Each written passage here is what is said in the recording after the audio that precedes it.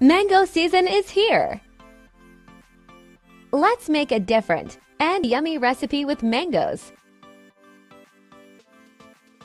Cut one mango in cubes. One scoop of vanilla ice cream. Sugar is optional. 1 cup chilled milk.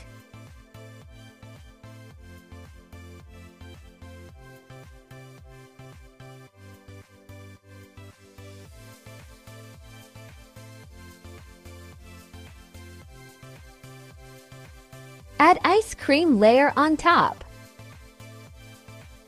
Add some dry fruits on top.